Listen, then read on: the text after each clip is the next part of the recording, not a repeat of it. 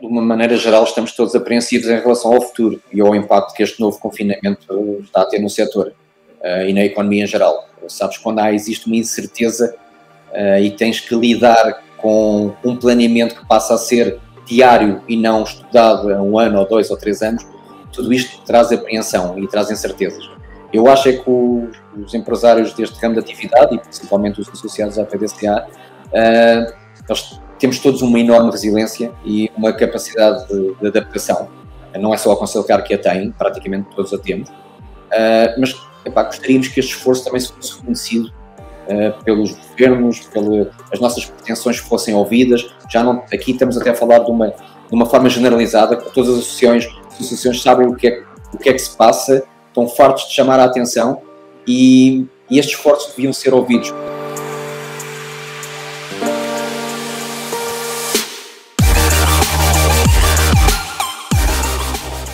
Olá a todos, é com muito prazer que mais uma vez estamos aqui para um Motorcast do Stand Virtual.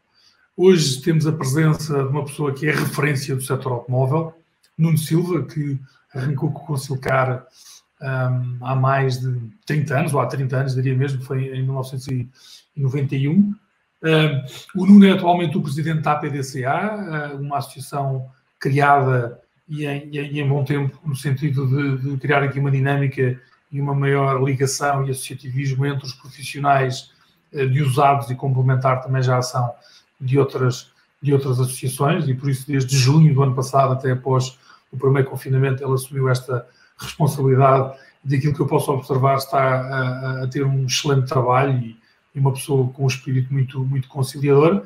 Um, e também o Nuno é uma pessoa um, dos automóveis há muitos, muitos anos, a própria Concilcar tem o time Concilcar, Concilcar onde uh, o Nuno é, é, é navegador uh, da, da, da, equipa, penso eu, com o seu sócio. Não é assim, Nuno? Tudo bem? Olá, boa tarde a todos. É essa, senhora. é uma, é uma parceria que nós temos em sociedade, tanto na Concilcar como na, nas corridas, por isso somos sócios em todos os lados. Olha, nós estamos aqui quase como irmãos gêmeos eh, de camisa branca, mas, mas pronto, o tempo está melhor. Eu também já me hoje, hoje já deixei de estar aqui com com uma malha por cima, por isso estamos aqui perfeitamente alinhados. Tu estás com uma imagem de Lisboa por trás, eu tenho aqui, eu, aproveitei o espaço que eu tenho para ter aqui um, um escritório em casa no meu home office. Então vamos lá, olha, vamos, vamos começar uh, este, este nosso motorcast por, por, pedir um bocadinho um bilhete uh, quase automobilístico, um bilhete de identidade, está bem? E a primeira pergunta que eu te lançava era se te lembras qual foi o primeiro carro que tu tiveste? é um Honda Civic 1.4 GL de 1991. É inesquecível esse carro. É, epá, esses, esses carros eram. Era aquele que acabava assim, não é? Era, era super desportivo. Eu adorava esse carro, é? mas era, era três portas, não é? com certeza, não era aquele. Epá, esse carro era, era, era, era, lindíssimo, fazia um sucesso na, na, nossa altura, nós somos da mesma geração. Foi um carro que eu adorei, principalmente por ser o primeiro carro. Era preto ou vermelho? Era preto. Era preto. Estás a ver? Epá, eram as duas cores que na altura aquilo, aquilo tinha mais impacto. Olha, e hoje em dia, uh, estás mais nas, uh, nas mudanças automáticas ou ainda te mantens fiel à, à caixa manual? Assim, eu, eu, eu naturalmente adoro conduzir, uh, por isso gosto de ambas, mas se notarmos bem para, para a evolução que as caixas tiveram, hoje em dia, se calhar, tendo mais para uma caixa automática. Também eu, também, pá, eu gosto imenso de conduzir e de caixa manual, mas a verdade é que uma pessoa no carro passa metade do tempo ao telefone e não sei o quê, não sei o que mais, estando na automática tem outra, outra produtividade, não é? Completamente diferente. Olha, e, e, o que é que, na tua opinião, que és uma pessoa que tem essa visão uh, de 30 anos de trabalhar multimarca, o que é que é para ti o melhor, melhor carro produzido até agora? Dentro do, do, daquilo que tu conheces, não estar a falar aqui de supercarros, não é? mas de carros.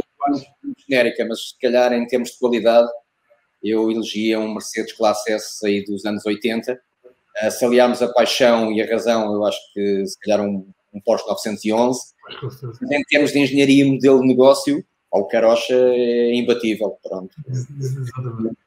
Um foco um pouco. Tudo em carros antigos, mas acho que. São, são, grandes exemplos. São grandes é. exemplos. Não, mesmo, mesmo, se falasses, por exemplo, do Golf, não me estranhava, não é? Também é um carro da Volkswagen. Também, também mas, quem gosta depois daqui a bocadinho também vamos ter um carro de cada marca que vamos gostar, por isso... Exatamente. nós que andamos nisto há muitos anos, acabamos de ter esse histórico. Olha, a última pergunta que te fazia aqui em termos de automóveis é, para ti que gostas de conduzir, o que é que é a estrada mais bonita em Portugal para, para, para conduzir? Olha, se calhar a Nacional 304, que é entre Ribas e, e Mondinho de Baixo, de que atravessa ali uma parte do Parque do Alvão. Eu acho que essa estrada é estupenda. Lindíssima. É lindíssima mesmo. Acho que as curvas, está tudo no sítio perfeito. Acho que é brutal. Maravilha, maravilha. Olha, então deixa-me entrar aqui um bocadinho agora mais no tema mais de negócio, naquilo que nos leva um, a este, a este nosso motorcast, e tu sendo uma das pessoas. Eu, eu, eu estou há 30 anos nos automóveis, começaste mais cedo que eu, eu já também já, já, já estarei mais perto dos 30 anos de, de experiência profissional, mas, mas estou há 20 e tantos uh, nos automóveis, e desde que nos automóveis que me lembro de ti como uma referência do setor, e nomeadamente na altura mais aqui em Lisboa, hoje penso que a nível mais nacional. Um, Perguntava-te um bocadinho, uh, nesta evolução destes 30 anos da Concilcar, momentos determinantes da, da, da, história de todo este empreendedorismo e evolução que tens tido que gostasses de partilhar? Bem, são muitos momentos. 30 anos é uma vida. Uh, o, o, que eu posso dizer é que, além da total dedicação, que é sempre algo que nos acompanha, a paixão e a dedicação pela nossa firma, pelo nosso negócio, uh, eu acho que os grandes momentos que a Conciliar teve foi a resistência às crises. Uh, nós temos uma empresa que tem uma rápida adaptação e as oscilações que existem no mercado, fruto dessa adaptação, penso que é dos melhores momentos que a gente tem, que são uh, lidar com uma crise e tentar sobreviver a essa crise e aprender com ela e evoluir logo em simultâneo. Eu penso que esses são os melhores momentos que nós possamos ter. Ainda, por cima, nos momentos, no, no, momento em que vivemos, é um excelente exemplo, não é? Porque eu acho que o mercado teve que ter essa necessidade de adaptação e, e particularmente tu, como presidente da PDCA, acho que sendo esse exemplo para, para o mercado como um todo é, é absolutamente fantástico. Mas ainda, ainda tocando aqui um bocadinho nesta, nesta, nesta experiência toda e dado aquilo que eu falei um pouco sobre ti, perguntava-te, ainda nesta componente mais pessoal, uh, e por isso com 30 anos essa paixão dos automóveis já vem desde, desde muito longe, uh, e especificamente como é que surgiu este interesse pelo, pelo todo terreno, onde de facto tu, tu participas em competições e, e és navegador uh, aí, penso eu, com o teu sócio. Olha, assim, eu desde muito novo sempre gostei do espírito de aventura e de velocidade. Uh, depois tive uma ligação, foi aí que conheci o meu sócio, uh, um concessionário de, em Lisboa, que tinha como o nosso patrão corria na marca UMM e estava ligado, ligado à, à mesma, e a partir daí, olha, o sócio do, o pai do meu sócio também foi piloto da UMM, e uma coisa levou à outra, começámos a fazer provas e a partir desse momento a paixão cada vez foi mais intensa e fomos evoluindo na nossa carreira, nas nossas aventuras, na forma como, como lidamos também com a, com a competição, mesmo não sendo, não somos pilotos profissionais, mas fazemos tudo com muito gosto e com muita paixão. Acho, acho bem, ainda por cima eu tenho essa ligação, eu quando fiz o meu MBA, um dos meus colegas que estive mais próximo era, era engenheiro uh, na fábrica da UMM, né? eu acho que a UMM foi um carro icónico que nós conseguimos fazer em Portugal, acho que mesmo ainda há, né? ainda, há ainda há algumas corridas do UMM e, e, e, é um carro que ficou e é pena que ele não tenha continuado, mas de facto era, era tivéssemos nós outra escala, provavelmente ainda existiria, ainda teria continuado, mas uh, é um, exemplo icónico de um carro que, um, feito em Portugal e que mesmo assim teve muita adesão, não, não tinha economia de escala. Né? Olha, então deixa-me aqui uh, perguntar-te um pouco. Um, porque de facto nós, nós vivemos um momento determinante uh, do mercado, não é? Uh, e ainda aqui num conceito para já mais, mais de conciliar, já passarei a seguir numa perspectiva mais abrangente do mercado enquanto a PDCA, mas perguntava-te, no fundo, uh, o momento que vivemos, um primeiro confinamento, um, agora um segundo confinamento, quase um ano depois, um, um ano que obrigou muitas adaptações, isto de facto vem, vem expor quem está menos preparado para se adaptar à, à, tal mudança que tu tens falado, que tem sido uma, uma constante na, na, na Concilcar. Um, como, é, como é que de facto, ou seja, estes 12 meses, uh, ou 10 meses, talvez mais, em termos de, desde o início da, da pandemia, como, é, como é que tem sido esta adaptação a nível da Conselcar? Olha, eu acho que em todos os setores, se as empresas não se adaptarem com relativa rapidez, vão sempre ficar para trás e os estiverem menos preparados, hum, dificilmente vão ter, vão conseguir manter-se à tona. e eu acho que essa adaptação é, é, é, faz parte da evolução natural do mercado. E nós, em nosso caso, na nossa empresa, acabamos sempre por por lançar novas iniciativas, por pensar sempre onde é que podemos evoluir, onde é que podemos melhorar. E eu acho que, estando a acompanhar todas as evoluções que existem, tanto regras, leis, eh, de natureza, de todas as naturezas, e conseguir eh, juntar a isso uma adaptação e uma evolução, penso que isso faz com que as empresas possam andar na linha da frente, ou perto da linha da frente. Mas neste contexto da, da pandemia, o que é que tu sentiste que a nível da Consilcar fosse o principal eixo de adaptação a, a que tiveste que uh, focar ao longo destes, destes, destes 10 meses? Quando existe este tipo de confinamento, a primeira coisa que nós fizemos foi, tivemos que evoluir mais ainda na parte digital. É? Uh, desde essa altura estamos, tivemos a, a, montar e a evoluir um novo site que acabámos de lançar há coisa dois ou três dias.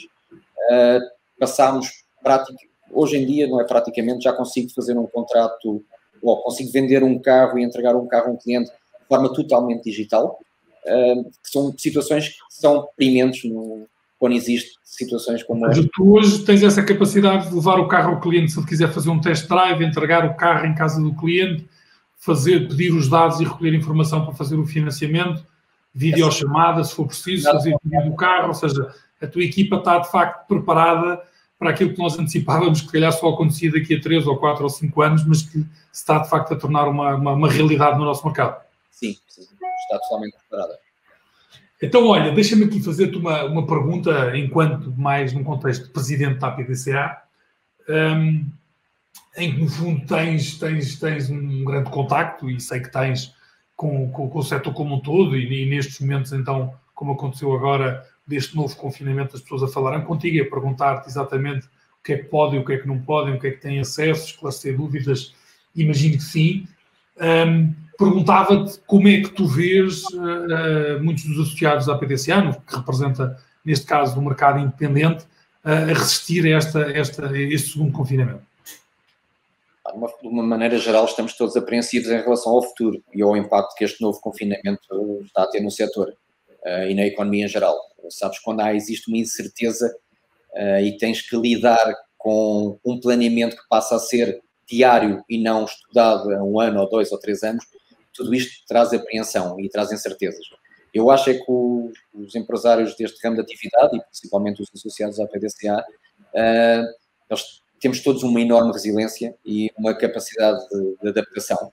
Não é só a Conselcar que a tem, praticamente todos a temos, uh, mas epá, gostaríamos que este esforço também se fosse reconhecido uh, pelos governos, as nossas pretensões fossem ouvidas. Já não, aqui estamos até a falar de uma, de uma forma generalizada, todas as associações, as associações sabem o que, é, o que é que se passa, estão fartos de chamar a atenção e, e estes esforços deviam ser ouvidos. Da mesma forma que nós lidamos com, com, com situações que ninguém está à espera, que são, estamos a falar de, de vírus e de, de, crises que são relacionadas com o mesmo, uh, os stands e o, e o setor acata todas as informações e todas as ordens do governo, faz tudo para que as coisas melhorem mais rapidamente, para podermos voltar à nossa vida normal, evoluímos, mas sentimos que do outro lado existe sempre um eco que não chega a ter retorno.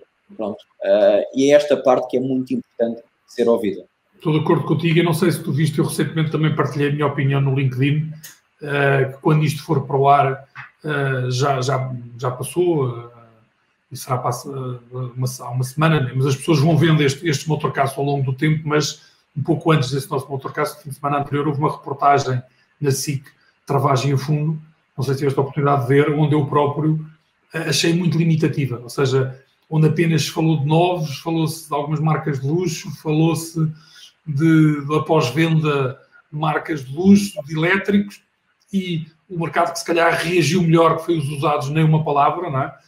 Um, um trabalho excepcional que eu acho que uh, os teus associados têm feito, e em particular, na minha opinião, até mais o setor dos usados, em termos de adaptação à, à internet e esta nova realidade, nada disso foi falado e o desafio tremendo uh, que houve e que de facto acabou por haver uma reação muito positiva até uh, após o primeiro confinamento do mercado, devido também a uma muito boa adaptação uh, de todos os operadores independentes, ou seja, e nem, nem sequer de financiamento se falou nessa reportagem, ou seja, que para mim é um bocadinho representativo de algumas pessoas que às vezes, no fundo, quem, quem, quem foi responsável por aquela reportagem não não é uma pessoa, de, não tem uma visão holística do mercado, não é?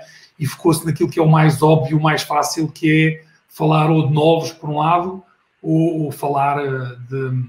Ou falar de, sei lá, do elétrico que está na moda, ou, ou falar dos carros de luxo e tal, porque foram os únicos que cresceram e tal. Ou seja, uh, acho que faltou ali muito para, para ser representativo do setor, e sabes isto também como eu hoje, que nesta altura, se, provavelmente só de uma altura em que praticamente para cada novo se vendiam três usados, estamos numa fase em que os usados estão com mais peso e, se calhar, agora para cada, em cada cinco carros, quatro deles são usados e um é novo. É? Sinceramente, eu, eu tava, uh, fiquei a aguardar, quando vi o anúncio dessa reportagem, fiquei a aguardar com muita expectativa, porque as reportagens, quando se falam e quando, eu, quando o chavão da reportagem é que o mercado travou a fundo, uh, nós estamos sempre à espera uh, de notícias que possam, muitas vezes, até nem ser a realidade do mercado. O mercado travou a fundo, é uma realidade, travou mesmo a fundo para os novos, para os usados também. Houve uma evolução a seguir do primeiro confinamento, claro. mas uh, e se calhar pode ter sido fruto das pessoas que também não terem comprado nos primeiros meses, juntando as compras, se calhar àqueles que estavam já a pensar comprar nos meses seguintes, mas o que é certo é que no final do ano o próprio mercado voltou a ressentir-se e agora com este, com este confinamento uh, ainda mais. E quando não se fala uh, de um mercado de usados que é muito forte no, em Portugal, mas não se fala porque não se dá valor, porque eu penso que as próprias leis e regras uh, deveria haver só para o mercado de usados, vê-se um mercado como uma globalidade e não é uma globalidade. Uh, e quando chegamos a uma situação que até é, é, é, é igual, portanto, para os novos como para os usados, que é os IUPs que se pagam de casa em stock não podem ser vendidos. Exatamente. A reportagem ficou muito aquém de... Muito. muito aquém. Eu, sinceramente, foi... fiquei desiludido ao ver aquela reportagem. Como consumidor, e a gente estamos dentro do mercado e sabemos o que é que se vai passando, mas como consumidor, olhando para aquela reportagem, até ao consumidor não transmitiu nada, não houve nenhuma mensagem que pudesse vir naquela, naquela reportagem. 100% de acordo. Olha, mas já que tu falas e tocas num ponto muito importante, gostava de, de fazer a pergunta por aí. Ou seja, falas, uh, e eu acho que, e tu vais, se calhar, na minha opinião, uh, ser uma, uma, pessoa marcante uh, em termos de, de, do desenvolvimento deste setor a nível dos usados, e agora que assumiste a presidência da APDCA, que, se bem me lembro, arrancou em 2018, um, e onde tu também estiveste na, na, na, na criação da própria à PDCA, e naturalmente a primeira fase é uma fase inicial, e eu acho que este segundo mandato, e que tu assumes a presidência, terá outro peso e, e terá outra consolidação da, da própria associação no, no mercado. Um, gostava de te perguntar, eh, para, para quem nos ouve aqui, que já é associado à PDCA ou que não, ou que não seja, mas em particular seja um operador um, independente e que, que, se também veja, reveja naquilo que é o esforço que tu e toda a equipa da PDCA um, faz, o que é que de facto são estes os grandes objetivos que tu tens para este teu mandato de três anos? Olha, uh, a PDCA, penso que nestes, nestes, nestes primeiros três anos foi, foi tentando mudar algumas mentalidades e, e, a união faz a força, que é um dos nossos lemas, e, e, e finalmente a maior parte dos nossos colegas ou dos, dos, da maior parte das pessoas que trabalham no setor de, de usados e não só, começaram a perceber que a PDCA nasceu para uma, uma representação de empresários uh, de um setor que não era devidamente tido em conta. Isto é, nós temos especificidades de negócio que acabam por.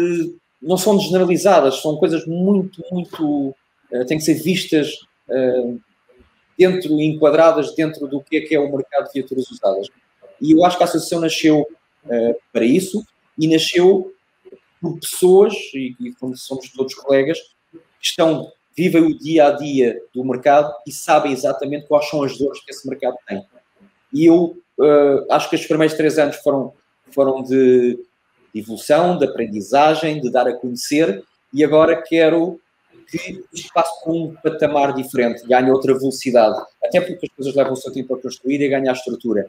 Eu não vou dizer que temos a estrutura praticamente completa, mas vamos evoluir de uma forma que a gente possa, uh, como eu bocado indiquei na outra, na outra pergunta que me fizeste, possa fazer uh, ver a quem de direito que as coisas estão mal, estão erradas e que têm que evoluir. E essa vai ser a minha luta, a minha função e, e principalmente unir o mercado. Uh, mesmo nunca vamos concordar todos uns com os outros, mas temos que ter uh, um fio. E o fio é seguir um certo objetivo. E esse objetivo, mesmo que a gente não concorde, se nós unirmos, e nós falamos muito, os portugueses têm essa, essa regra, eu acho que é errada, é falamos muito, explodimos, fazemos um incêndio gigante, mas depois quando é preciso estar na frente do incêndio não está lá ninguém. E a PDCA vai estar sempre na frente do incêndio. A gente só quer é que os bombeiros venham atrás de nós a ajudar a apagar o fogo, como eu costumo dizer. Excelente, excelente analogia e, e como sabes, eu próprio também comecei a minha carreira no setor automóvel mais nos novos e conheço bem essa, essa realidade. Uh, e depois nos últimos, uh, provavelmente nos últimos 15 anos, tenho mais estado concentrado nos usados, exatamente pela razão de que me foquei uh, em termos da, da vertente toda de internet nos automóveis e os usados desde sempre tentado nessa linha da frente e tu saberás também a razão, porque é um mercado onde as pessoas são mais ágeis, o mercado é mais fácil de trabalhar porque não há essas regras todas do block exemption e mesmo nos Estados Unidos e outros mercados há muito mais limitações uh, no modelo de distribuição que aqui se torna muito mais flexível e tem permitido esta, esta evolução do setor automóvel para a internet. Uh, mas agora deixa-me fazer aqui uma pergunta num ângulo diferente, também, também no contexto do setor, mas não tanto nesta vertente dos operadores que vendem, mas na vertente de quem compra. E perguntava a tua opinião, uh, provavelmente se calhar enquanto APDCA, mas traz uma opinião mais enquanto conciliar pela, pela, pela operação bem estruturada que tens, um, do que se tu sentes, e já quase há um ano que esta, que esta pandemia entrou, se notaste alguma alteração no comportamento, nos gostos, nos gostos na procura um, do consumidor final um, neste, neste, neste período de pandemia. Sentes uma diferença do lado da, da, da procura? comportamento? Assim, é, é, é, assim as, as, sucessivas crises têm, têm, têm servido de aprendizagem para todos, não nós como empresas, mas também como consumidores.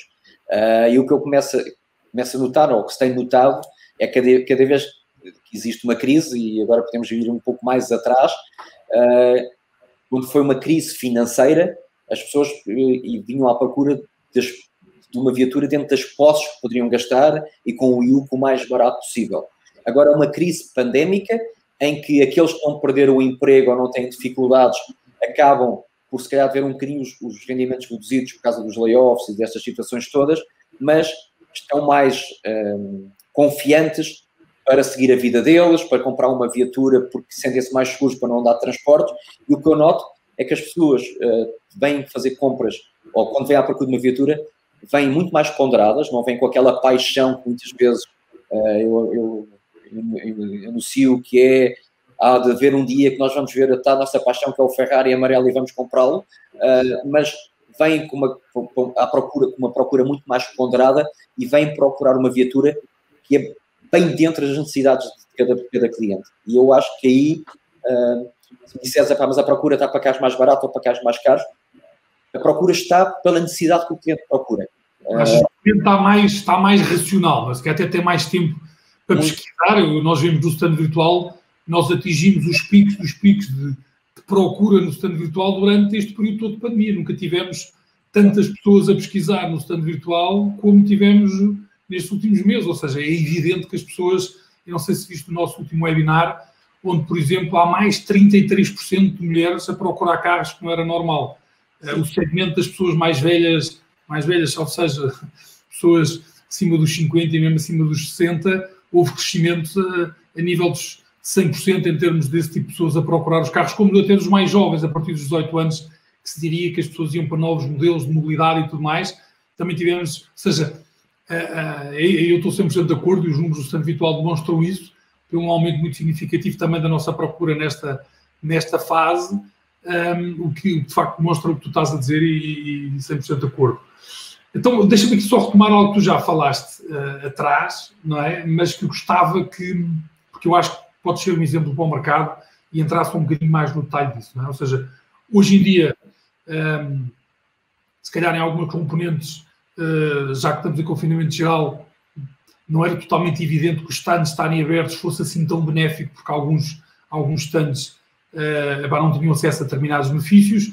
Paralelamente, também para outros, poderia ser um benefício, porque mesmo assim se teria a opção de vender um pouco mais. Ou seja, podem-se dividir as opiniões, mas o que interessa é que a realidade hoje em dia estão portas fechadas e a forma de vender é através de vendas digitais. O que eu te perguntava é, tu de facto uh, consegues transmitir isso para o mercado numa operação tão estruturada como a tua, de que de facto esta, esta realidade de uma venda totalmente digital no cenário que estamos hoje realmente acontece e tu és um exemplo vivo disso, onde o cliente contacta, há videochamada, mostra-se o carro, manda-se o vídeo, proposta de financiamento, fala-se da retoma, entrega-se o carro ao cliente, pode-se lá levar para vão test drive, eh, higieniza-se o carro e que de facto se consegue fazer aquilo que nós acharíamos que ia demorar assim tanto tempo, está de facto está a acontecer na, na Consilcar? Sim, está a acontecer na, na Consilcar e está a acontecer no mercado em geral. Uh, se me disseres assim, mas vai ser esse o futuro, eu, as coisas levam o seu tempo, mas já existe esta possibilidade, os próprios stands já criaram essa possibilidade, a Concilcar também já a criou e é possível. Aqui só temos aqui uma, uma pequena questão que eu vou deixar em aberto, e já que isto vai ser visto por, muito, por muitas pessoas, um, queria deixar este recado. Uh, o online facilita-nos a vida, ajuda-nos a fazer um processo burocrático, que o grande problema, e eu costumo dizer às pessoas, o mais fácil mesmo é vender o carro.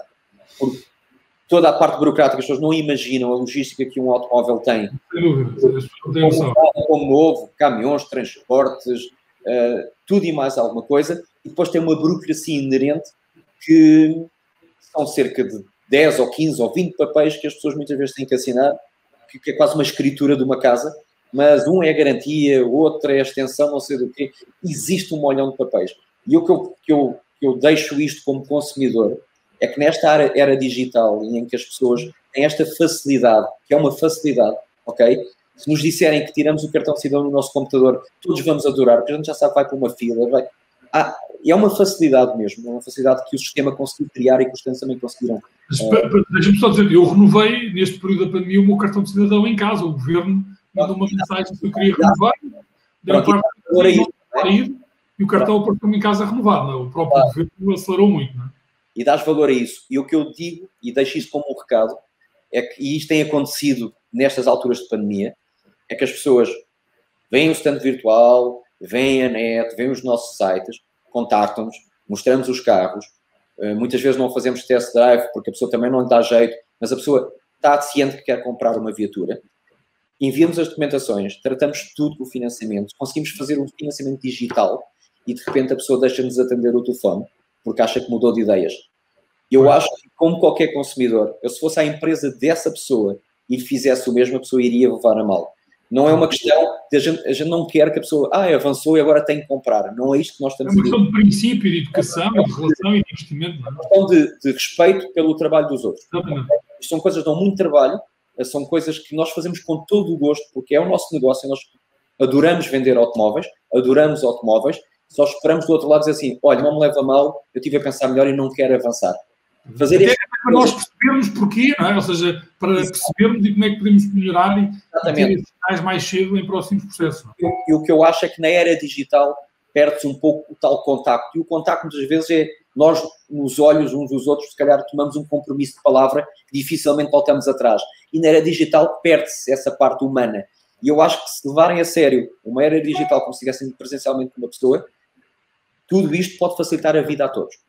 Ok? Não é só em termos pandémicos, será daqui para o futuro, vai ser muito mais fácil comprar um carro e tratar toda a burocracia online. Na mesma, continuo a dizer que um automóvel é uma paixão e não há nada como abrir a porta, sentarmos lá dentro e dizer é isto mesmo que eu quero. Isso aí há sempre a acontecer e não há nenhuma câmara que nos possa dar essa sensação. Mas, digitalmente, tem que haver respeito pelo trabalho dos outros.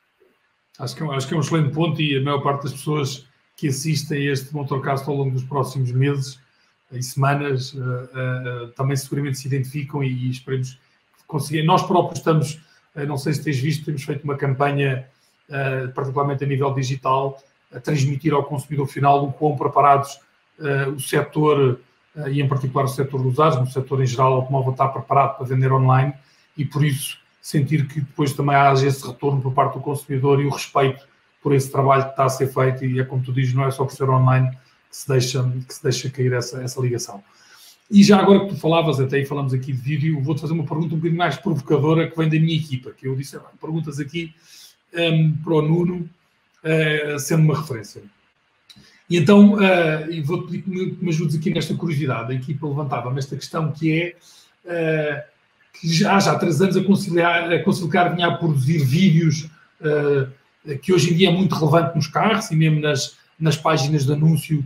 Hoje em dia passa a ser a primeira coisa que passa porque os clientes valorizam muito os vídeos dos carros e de facto um, nunca foi tão importante como é agora e a Concilcar fazia um excelente trabalho.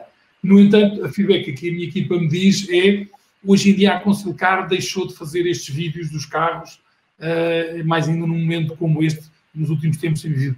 Há alguma razão ou algum insight que tu tiveste para, para não estares a fazer vídeos dos teus carros que tens em venda? Não, não, não todo. Eu não desisti dos vídeos. A questão foi que, com o início da pandemia do ano passado, uh, eu, eu achei que deveríamos passar para outro patamar. Uh, tivemos as limitações de fazer vídeos na rua, que tornava-se mais complicado, porque a pandemia não dava, não, não, não dava de todo para, para eu fazer, estávamos todos em confinamento, e então achei que tínhamos que ir para outro patamar. E então comecei a desenvolver dentro da Concilcar, entre aspas, um estúdio, ok? Aqui a questão que se passa é que com, com estas, com a pandemia, com o confinamento, com as pessoas infectadas, as obras não têm, têm sido olha, se eu tenho cabelos brancos, agora ainda tenho mais. Uh, os vídeos ficaram em stand-by para poder avançar no outro patamar. Demorou, foi muito mais tempo do que eu estava à espera, mas para teres uma ideia, o meu site também já era para ser, ser lançado e só lá foi lançado agora com uma parte do site também vai ter fotografias num novo, uma nova apresentação e eu queria aliar isso ao vídeo. E tipo, stand-by, pronto, e foi por isso que... Mas deixe essa nota, é? nós sentimos e temos, como nós temos análise dos dados do site do stand virtual, um, de facto, carros que tenham uh, o vídeo, uh, de facto, as pessoas investem mais tempo. As pessoas hoje em dia, como investem mais tempo, a questão de ver o vídeo ajuda, mesmo que o vídeo seja nas instalações. Hoje em dia, pessoas fazem até uma explicação do carro com alguém presente. É uma coisa que te incentiva a ti como referência do mercado, que já muita gente faz. Ainda não é assim tão geral, ou seja, na altura em que nós criámos isto como no stand virtual, colocámos como uh, o primeiro elemento da galeria, automaticamente tivemos um crescimento muito significativo de 10, 15% mais pessoas a fazerem vídeos, um, mas, mas de qualquer das formas fica aqui esta provocação e esta nota da equipa, que acho que também, se já tens uma excelente operação, irás beneficiar em voltar a esses, a esses vídeos.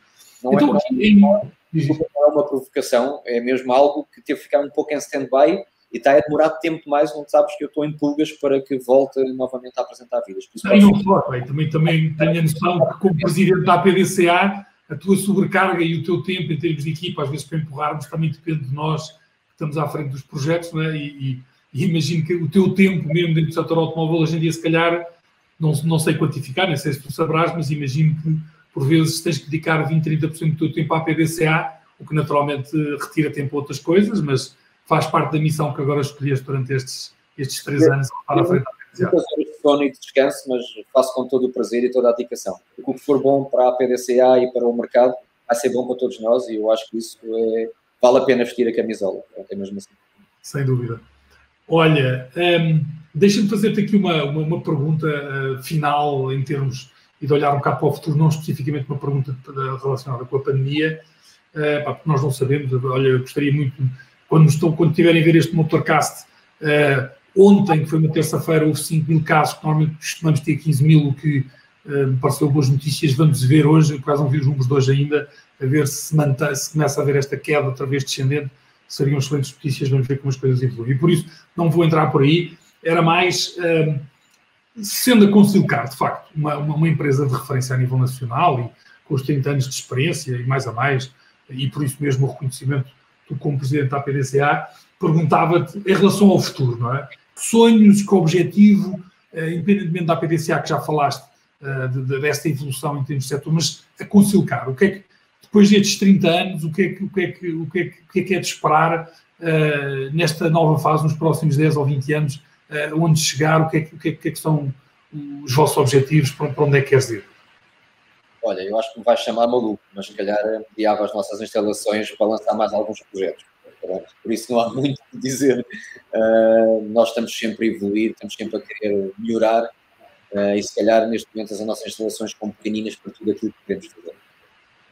Ou seja, mas isso quer dizer que tu gostarias também de ter uma cobertura geográfica maior, ou seja, passar a ter uma operação pudesse ter vários pontos no país ou, ou irias apostar mais na internet para, para cobrir o, o mercado nacional? Não, a ideia era, na forma centralizada como temos eh, a operação, ampliar para criar melhores condições para, olha, para ter um sítio só para, filme, para fazer vídeos, uh, sem interferir com tudo, toda a logística dos automóveis. Os automóveis é, é um produto muito complicado, não dá para pôr em prateleiras, é, é muito chato.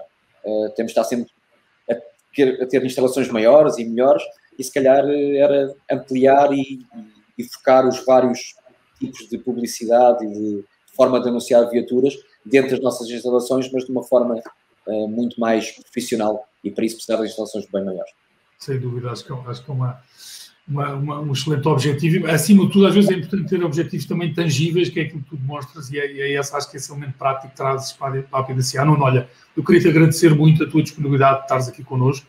Uh, como tu sabes, estes, estas entrevistas têm sido um fórum do, do setor automóvel e agradeço os teus esclarecimentos. Tenho certeza que muitas pessoas vão, vão ter a oportunidade de ouvir esta nossa conversa, onde em particular partilhaste muito o teu ponto de vista enquanto Consulcar, mas também enquanto a PDCA, e também agradecer e desejar das melhores felicidades, não apenas como Consulcar, mas também nesta missão que estás, ainda tens dois anos e meio pela frente, à frente da PDCA e, naturalmente podes contar com o apoio do Centro Virtual que temos estado aqui para, para defender e desenvolver o, o mercado automóvel. Está bem? Eu é que agradeço o vosso convite e claro, rapaz, estamos aqui prontos para ajudar, tanto seja o stand virtual, como os associados, como a PDCA, como Concilcar. Eu acho que Portugal é muito pequenino, nós temos tão separados uns dos outros, temos que ser mais um. Sem dúvida. Vou só, vou só fechar aqui a nossa, o nosso Motorcast. E é assim que, que termino hoje este, este Motorcast, aqui com o Nuno Silva, uma referência uh, a nível nacional uh, da, da Concilcar há mais de 30 anos e, e penso que, como todos saberão, presidente da PTCA, aqui a desenvolver um papel absolutamente fundamental na defesa do mercado independente e da, da estruturação. Uh, foi com imenso prazer que tivemos o Nuno Silva connosco hoje, ainda neste início uh, do confinamento, uh, quando, quando, quando gravámos este, este Motorcast. espero, em, sinceramente, que algumas das pessoas que vejam isto um pouco mais tarde já estaremos em, em tempos de maior normalização, mas acho que quer eu, quer o Nuno, temos uma noção clara que o setor evoluiu muito, em particular o setor dos usados, um, e que isso augura um futuro muito, muito positivo e, de outra vez, quando saiu do confinamento, o mercado reagiu muito positivamente. Uh, esperamos o mesmo também assim que sairmos deste confinamento geral. A todos, uh, um forte abraço e esperem, muito brevemente, teremos mais um outro cast aqui no Estado Virtual. Muito obrigado.